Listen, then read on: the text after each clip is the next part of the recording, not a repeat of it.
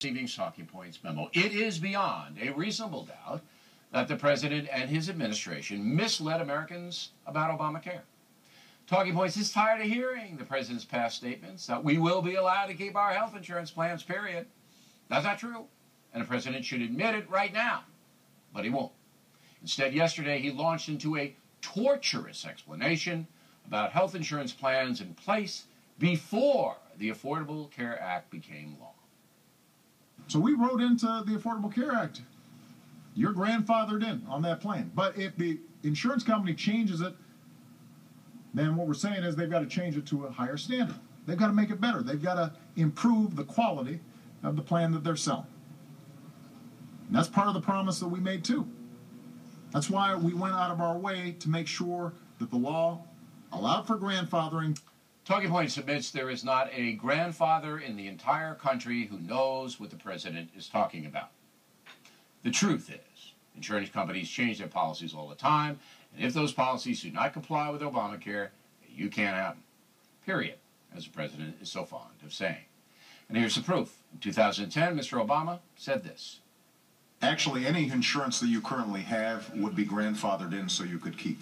Um, and so you could decide not to get in the exchange the better plan. I, I could keep my Acme insurance, uh, just a high deductible catastrophic plan. Uh, I would not be required to get the better one. Not true. Again, if your insurance company does not comply with the Obamacare mandate, you can't keep it. Few, if any, insurance plans stay static. There are always changes. So this is yet another sleight of hand. President Obama is making a huge mistake by continuing to pettifog the issue. The American people are not going to micromanage Obamacare, and the perception now is the president did not tell the truth. When Americans, even those who favor the Democratic Party, believe they are not being dealt with squarely, they react. Recent history proves this. You may remember that President Bush the Elder, running against Michael Dukakis, said this at the 1988 Republican Convention. I'm the one who will not raise taxes. My opponent now says, my opponent now says he'll raise them as a last resort or a third resort. But when a politician talks like that, you know that's one resort he'll be checking into. And I, My opponent, my opponent will rule out raising taxes, but I will, and the Congress will push me to raise taxes, and I'll say no. And they'll push, and I'll say no. And they'll push again, and I'll say to them, read my lips. Well, that turned out to be false. Mr. Bush raised taxes in 1990 to the tune of $140 billion. He explained to the nation he had to do it because of the huge budget deficit. By the way, that deficit is minuscule compared to what we have now. Anyway, in 1992, President Bush lost the election to Bill Clinton. In fact, Mr. Bush was hammered, losing the popular vote by almost 6 million. The read my lips remark certainly hurt him. So President Obama should take note that unlike Fast and Furious, Benghazi, the IRS, and the NSA snooping, Obamacare is a far different deal.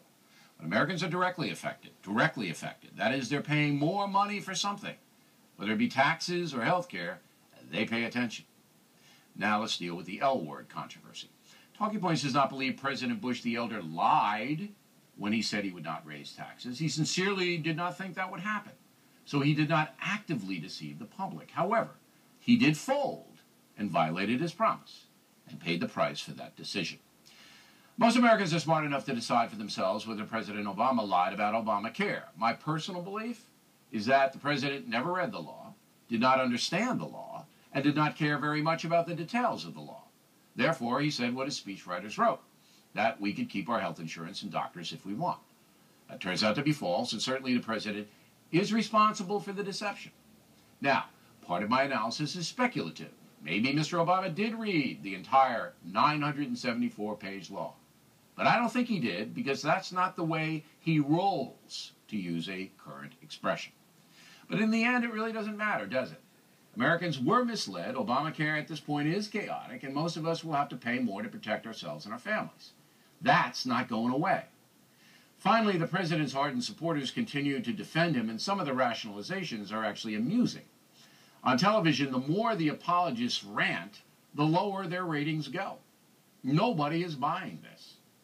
Talking Points fully expects to hear that the malfunctioning computers are racist or something. That's how insane this whole thing has become.